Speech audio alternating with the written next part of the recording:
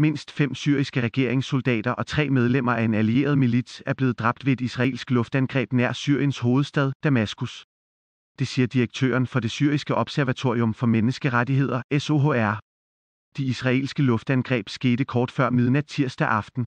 Luftangrebene fandt sted i Homs-provinsen i det centrale Syrien, siger SOHR's leder, Rami Abdul Rahman. Statslige medier i Syrien hævder, at landets luftforsvar reagerede på de israelske luftangreb, og SOHR bekræfter, at der blev hørt kraftige eksplosioner i byen. Homs-provinsen ligger ikke langt fra den syriske hovedstad. Luftangrebene var rettet mod luftværnsstillinger ved landsbyen Købet Altin og mod et våbendepot, som tilhører den libanesiske Hezbollah-bevægelse. Observatoriet siger, at israelske luftangreb fandt sted i Damaskus og i provinserne Homs, Hama og Latakia. Syriens statslige nyhedsbyrå SANA rapporterer, at luftforsvaret svarede igen på den israelske aggression, men der var ingen oplysninger om, hvorvidt israelske fly var blevet ramt. Israel har gennemført hundredvis af luftangreb på syrisk territorium under den syriske borgerkrig.